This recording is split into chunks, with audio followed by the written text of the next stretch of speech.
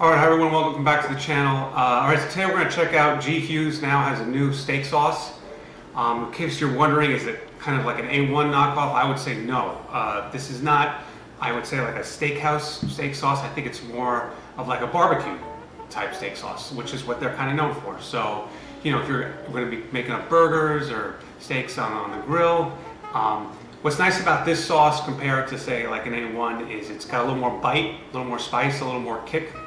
And since today, uh, or this month, is National Hamburger Month, I thought uh, we'd make up a burger and give this a try and see how it works with it. All right, so that being said, let's make it. So the first thing you're going to want to do is add some butter to the pan and get that melted down. Then add the onions, get them covered up and keep them sweating the butter. Next step is to add some olive oil to the pan and then keep the onions moving you don't want to let them sit still. You'll probably want to let them cook for at least 15 to 20 minutes. I mean, this was one onion, more onions, more cook time to let the onions break down. Then you want to add the mushrooms.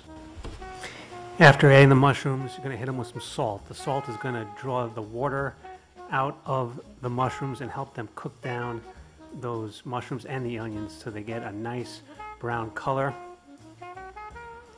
I also like to add a little black pepper to the mushrooms, but that's up to you once you've finished seasoning your onions and mushrooms, you want to add some oil to your pan.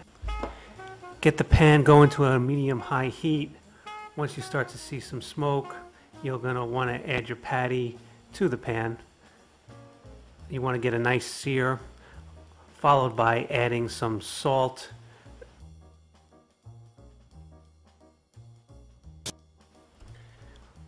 After the flip, you're going to want to get to your desired doneness. Once you hit your desired doneness, that's when you're going to want to add your onions and your mushrooms.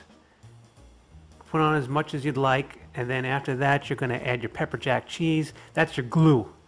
So you add your cheese, then you steam it up, cover it up, let that cheese melt over the onions, and until you get a nice kind of gooey kind of melt that'll hold everything together. Now, I don't know what it is about these Aldi buns, but I find that they taste better untoasted rather than toasted. So I didn't toast these. Then I just added my patty.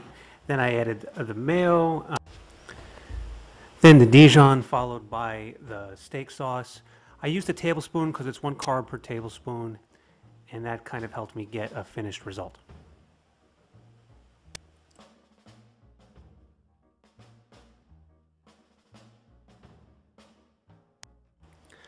All right, so if you like this video, please hit the like button for the YouTube algorithm. And that being said, let's taste it.